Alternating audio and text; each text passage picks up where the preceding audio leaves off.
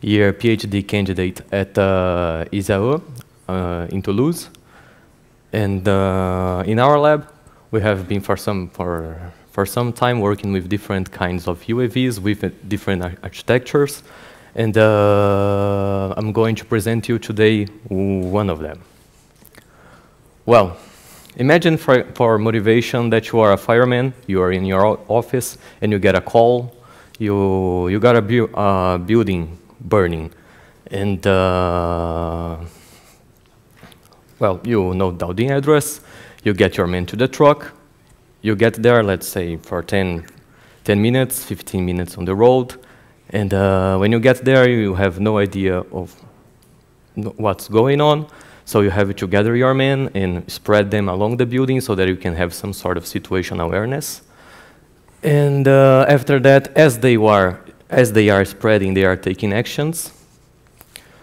Uh, and when you're done, okay, you you have took quite a, uh, you have waste quite a manpower in the job, and uh, we try to come up with a solution for that. What if you could send a drone to when you get the call? Let's say you have just received the call, you can get a drone, and even after, even before you leave the office, you, you have the address, you can send the drone there. The drone, you want it to go as fast as possible to the target location. And uh, while he is there, you want him to do some building intrusion. You want, you want him to be inside the building to get some intel of what's going on. And you want him to come back. And hopefully, when he comes back, you are there. You can already take your men and use them the most efficiently way as possible. So for now, let's think of what kind of UAV do we need to, to perform this task. Uh, let's try to think it as a fixed wing. A plane, we can, okay, we can send it there. We know that it's going to take very fast. Planes are very fast. Uh, and when it gets there, we get a problem. How it's going to get inside the building? So we can't use a fixed plane. So let's try a hovering one, a helicopter or a quadcopter. Uh, he can get there, inside. But how about getting to the building? Uh, he's not as fast as a plane. Assuming he will get there at all, because quadrotors, they have limited endurance. So we will think, what about if we can take the best of uh, both worlds and putting them together? What if we can switch between one architecture and another in a given situation? So for that, we have already several architectures already in the literature, such as tilt rotors, as the V22 Osprey that is very famous. We have the tilt wings. We have an example of tilt wings just before. Uh, and yesterday on the competition, the Maverick uh, lift fans, etc. But I'm going to talk about a very special one that we have, which is the Mavion. I've brought him here.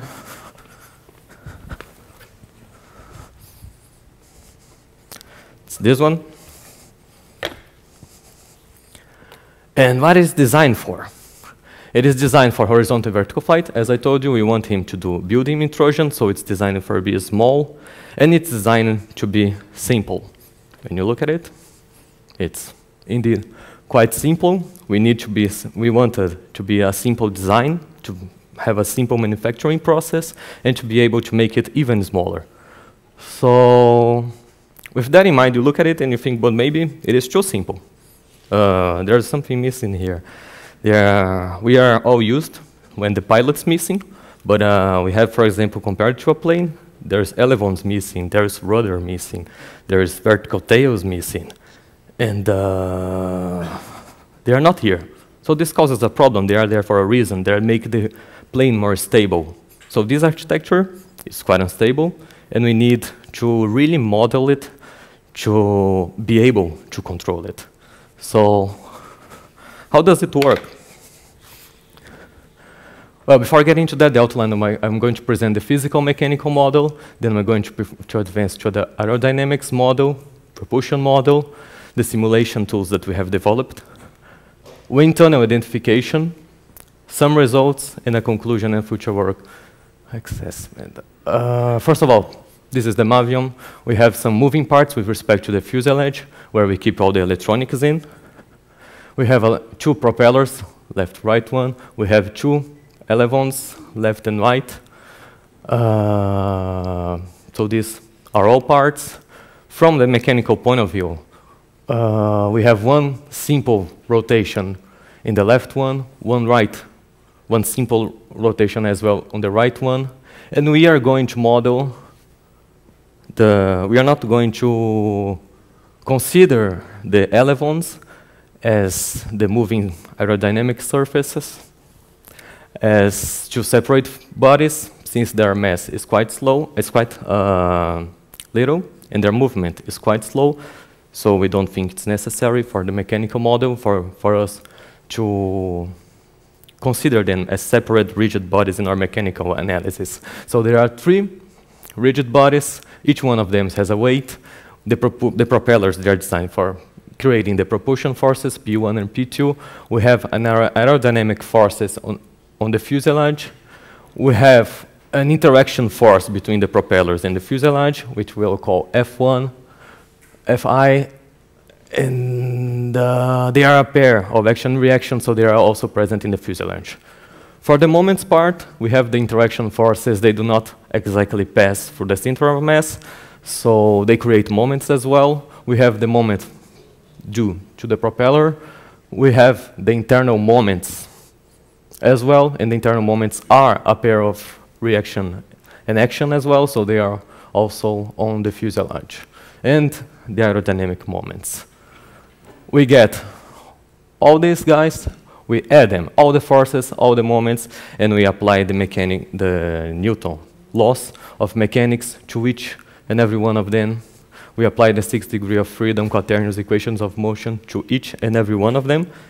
And uh, you might notice now that this is somehow, somehow different of what is usually to do. We, are, we normally encounter the sixth degree of freedom equations on a, on a quadrotor, for example, or on the main body of a plane, and then we model the how the gyroscopic forces or moments are in this only body.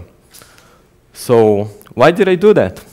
The, the equations doesn't seem to get any easier. It's a an overwhelming algebra. However, you get a present from this. When you do this, you don't have to care anymore about the modeling of gyroscopic effect, effects during to the propeller in the fuselage.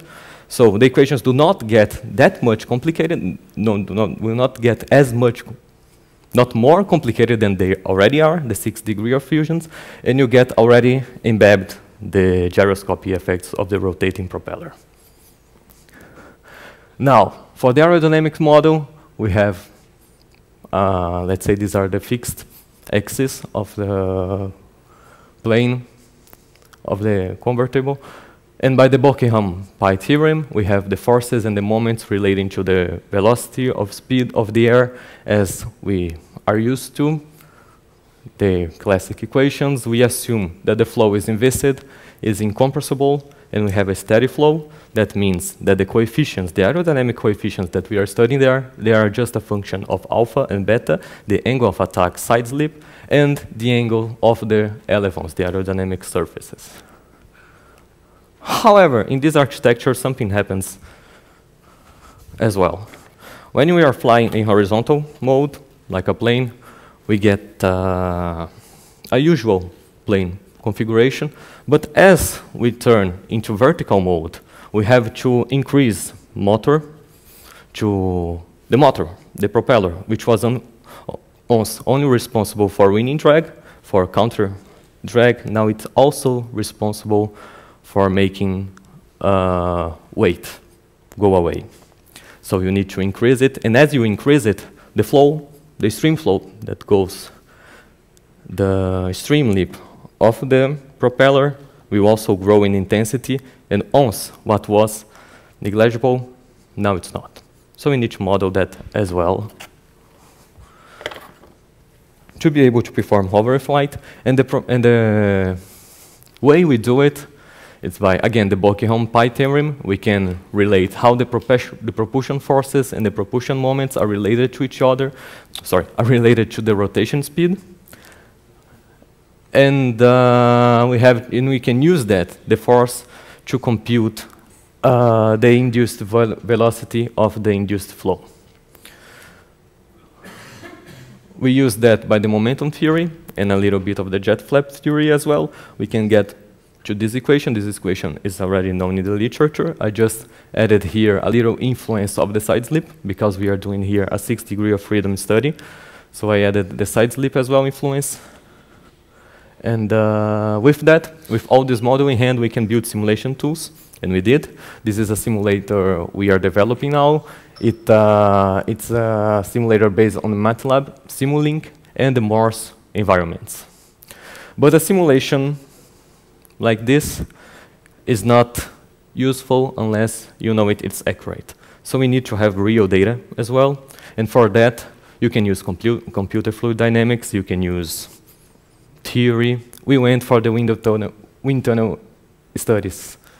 And uh, this is the wind tunnel we used. It's, uh, it's called the Sabre wind tunnel facility at uh, ISAE in Toulouse. It is specially designed for micro-air vehicle studies. It is a closed-loop wind tunnel for low-level Reynolds, uniform laminar flow, and it's able to deliver you a wind velocity of uh, range to 2 to 25 meters per second, and we can put the whole plane in there, like you can see on the picture. This is the model we had. The electronics is, a, uh, is the same as the flying model. We have the, not only the electronics, but the scale and the geometry is the same of the flying model. You have already seen maybe the Mavion on previous IMAVs, and this is the first time we, are, we did the the wind tunnel with exactly the same model as the flying one. So we are using an APC 745 propeller. The airfoil is the MH45. And uh, for the flying model, that one, we, are, we have a total weight of 400 grams, which uh, already includes these batteries, motors, and the embedded system, which it which is a Gumstix plus another computer, uh, an ARM 7 board, and the IMU and GPS for navigation purposes. And other than that, we are, we are foreseeing that it can carry an upload and a payload of 50 grams, which will make him weight total 450.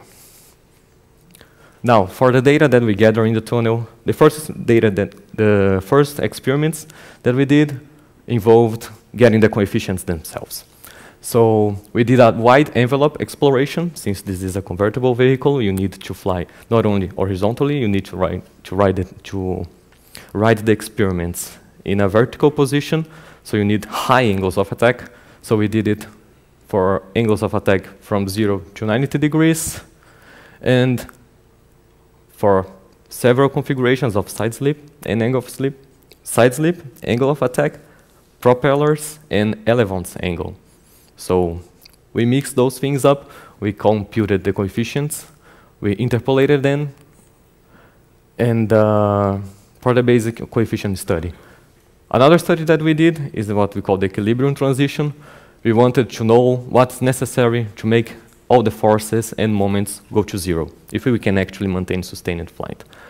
Uh, for, as you can see there, this, we actually did it. We, could, we were able to zero the forces and moments for all positions from 0 to 90 degree angle of attack. And what you can see on the first graph is the motor speed, on the second graph, wind speed, on the third, the deflection of the elevon necessary to make it go away. From this, we can already get some results here. From the second one, you can see that the wind speed that we got for achieving uh, equilibrium is the maximum speed is 20, so this is the maximum speed of the Mavion. As computed by the tunnel, we can actually go faster here. This is the first point that we get. So for that, we also can see the propulsion that we need. We see that the propulsion has a con it's a convex curve. It uh, from the left, you have small angles of attack, which means he is on flight, fast, cruise mode, and you need a high motor for that. The second moment you need high, uh, high motor is when you are at hover. And you can see here as well on the elevon part that the max elevon that we need is about 28 degrees, which is well within the efficiency of the design elevon. For now, uh, we also studied the addition of winglets on the side of the plane. We wanted to see the effects on efficiency and the aerodynamic polar of it. As for the efficiency, as predicted, we get an efficiency gain over all over the transition. And for the aerodynamic polar, we saw something very interesting, which is there's no addition of drag. We included a, a surface, we added a surface, and we get no addition of drag. We believe that that happens because we managed to add a surface. Okay, we are increasing drag, but from the other side, there are no, there are no longer tip vortices. So maybe one thing cancels the other. So it's a good thing, because as you can see, we can use them, they do not add drag, and you can use them as a natural landing device. Uh, for now, but the, this model fits reality. That was the thing we were aiming for. We need to go now back, get this data, the coefficients that we got, come back to the model, calculate induced flow, and see if we get the forces that we were aiming for. For example, here it's a graph of the axial force predicted and compute and measured by the wind tunnel. So it's for a full motor, for a wind speed of 10 meters per second, and we vary the angle of attack, and we see what we get. Here you can see for small angles, it's quite accurate. The two of them match. But for high angles, you can see that they start to diverge. Uh, well, looking at this divergent, is it that bad? Let's take a look at the Mavion now to see if we can use this model. Uh, when you are going into horizontal flight, we have an accurate model, so so far so good. But when we are changing to vertical flight, we need to actually increase the velocity on the motors, which will increase the slipstream velocity, which will uh, eventually decrease the angle of attack because the wind is coming in this direction, but you are flowing angle. We are flowing more wind in this direction. So effectively, what you are doing, you are having a lower induced angle of attack, and uh, you can still use the model. So this can still be used for the simulation purposes, for at least what's controlled during flight. So for the conclusion, we have the equilibrium is achieved during the entire transition, so we believe it can fly. Winglets significantly enhance elevon efficiency. We have the additional skin friction is not visible on the aerodynamic polar. We have that winglets, they are very useful in this case. They do not, they raise the plane efficiency and they offer themselves as a natural landing device. And for future work, we have uh, we are very we are looking forward for getting this wind tunnel experiments, the model, and we want to compare with real flight data and see if they, all of them match and what we can learn from them as well. Okay, thank you for your attention. That was all.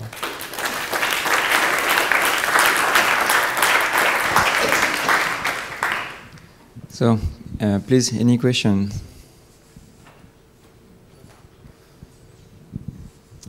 Yes. You have said that the maximum deflection that you need is about 28 degrees, and it's also the most efficient angle. Or you have talked about something about the efficiency there. Could you elaborate on that? Okay, we'll come back to that point. Okay, I will repeat the question. The question was about winglet efficiency, was that? Not the winglet efficiency, actually the control surface. The maximum deflection that you need is about 28 degrees, Yes? and you have said that it's the most efficient point for the deflection. Uh, no, sorry.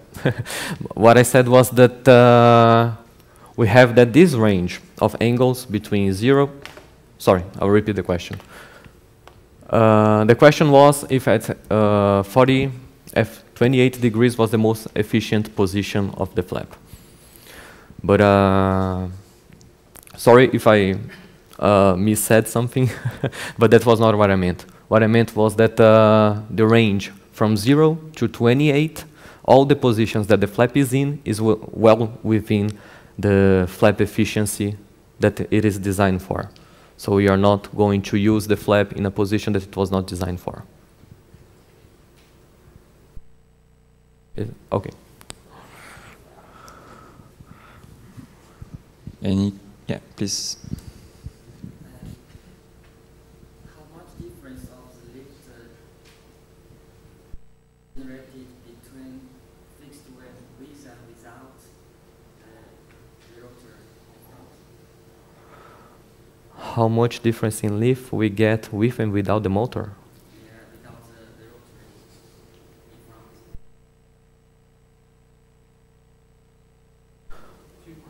I under okay. Yeah. So, so if there is a, there is a, a uh, there is a, a blade in front, I guess the flow will be disturbed and uh, the lift generation might be different. Yes, this is something. Okay, the question was about what about the lift? Because the lift, uh, because of the rotors, because they are right in front of the wing, they are going to disturb the flow and they are going to disturb lift. This is something that exactly what the model, the model wants to evaluate. We want to evaluate what is the induced wind speed and induced angle so that we can compute the induced lift and induced drag due to the coupling you have between the propellers and the, and the fuselage itself, or the wings, if you want to call them that. Was that it? Were you doing the experiments with propeller on or off in the wind? Propeller on or off? Because Because I think it's related to the question that it's doing, because if, if it's on, then you have a surface that is facing the wind. the wind. Because the propeller is turning and it's creating kind of surface that is facing the wind. So it's completely different if you do them with on and off, I guess. Yes, actually, when we did the wind tunnel, we did with on and off. So we have the both sets of data. So we can use off to compute the aerodynamic coefficients of the wing itself, of the fuselage itself, and we use it on to get the data of how much the it's disturbed, the lift, the drag, all the aerodynamics is disturbed by the motor itself. Probably this difference is what you was talking about. Oh, okay, now I understand the question. Okay. Sorry for that.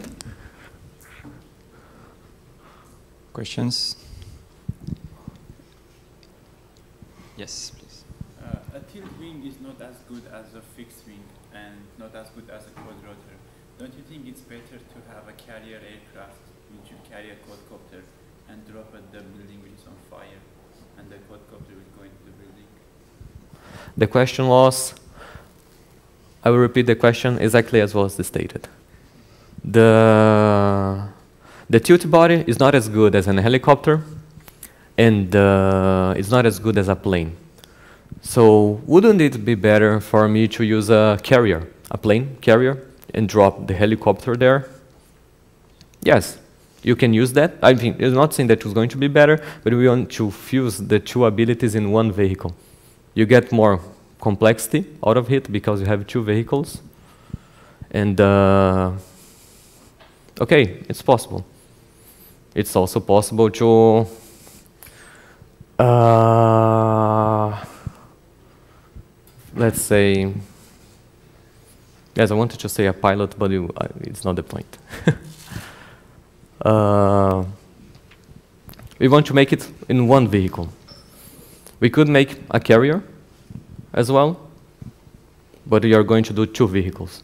Our idea now is to make one vehicle that can do the entire task, and we want to make it as simple as possible so we can make it smaller. If you're going to put a carrier okay, it, maybe you can put very small carrier, a very small helicopter in a very small carrier, and perform the same action, but that's just another philosophy. We are coming now for the philosophy of trying to put the same things on the same vehicle.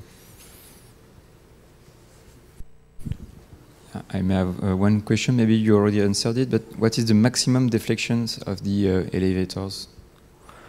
Maximum deflection encountered during transition equilibrium flight. Just the, the maximum, the, uh, the uh, because I For saw the design, yeah, you, you need did- at 28 degrees of deflection in the maximum. At what is the real maximum that you can uh, reach? the real maximum is 30, 30. 30 So- for each side. Okay. My, my next question, next question is, if you are at this particular position where you already need uh, 28 percent, uh, degrees of deflection, then what about your uh, rolling ability? Do you still have enough roll control? Because it's partially compensated by the fact that your air, your um, airflow coming from the motor is a bit higher, but do you still have the same uh, handling qualities on the rolling axis when you already need a lot of deflections uh, to sustain the pitch attitude? Do you have an Yes. idea? I got an idea. For flight dynamics, we need to test it to see what will happen, but we have uh, we are looking forward to it because if you can see from the graph of efficiency that actually where we go we get for when we add in winglets, you can see that the efficiency of the when you have a right in the middle of the of the graph, which is like uh, you you can see that you have the most gain in efficiency when it's a 40 angle of attack. And if we come to the other graph, a 40 angle of attack is exactly where we have the 28. So exactly at this part when we, we are at max maximum deflection is where the elevons are going to be more efficiency, more efficient. So you need net less deflection of them to, to control it dynamically. One other question about the elevons. I see a, rather significant gap between the wing and the elevon. Normally, that is detrimental for the efficiency of a flap. Did you design it in such a way that it is good, or The question was, as you can see here, there is a gap between the elevon and the, the winglet, no? the and it's At the hinge of the, uh, uh, the elevon to the, to the wing itself, ah okay. So I put it here. gap, Yes.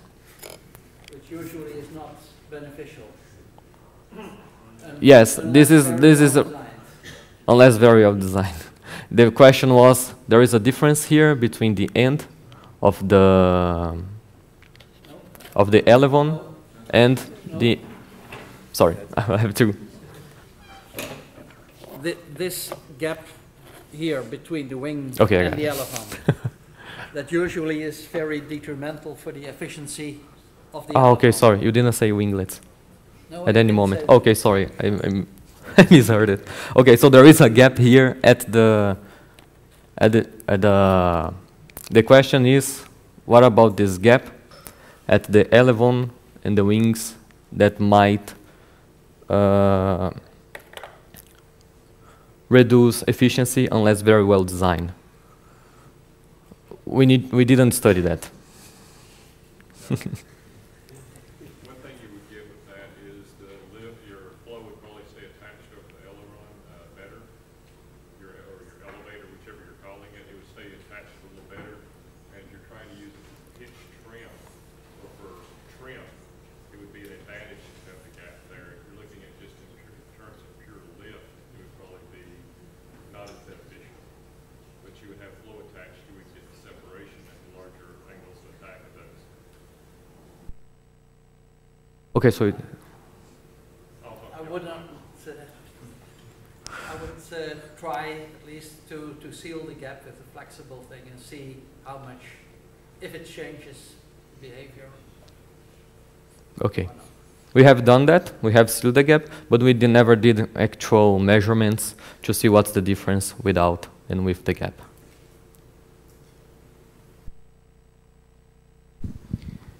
Uh, any more questions? Okay, so thank you very much.